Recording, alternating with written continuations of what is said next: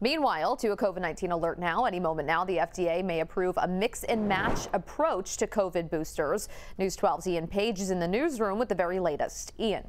Yeah, Gianna, federal uh, regulators are expected to allow the mixing and matching of COVID-19 vaccines a little later this week in an effort to provide some flexibility as the campaign expands for extra shots. Now, the announcement by the FDA is likely to come along with the authorization for boosters of the Moderna and J&J shots. It follows the okay for a third dose of the Pfizer vaccine for Americans, which was announced just last month.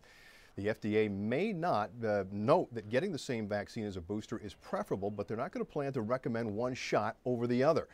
Allowing mixing and matching could help with supply issues and make it easier for those who may have had an adverse reaction to the initial dose try a different shot. So what's next? Well, an advisory committee of the CDC is going to take up the booster issue on Thursday. The agency will then issue its own recommendations. And by the end of the week, millions more Americans could be eligible for those extra shots. Gianna?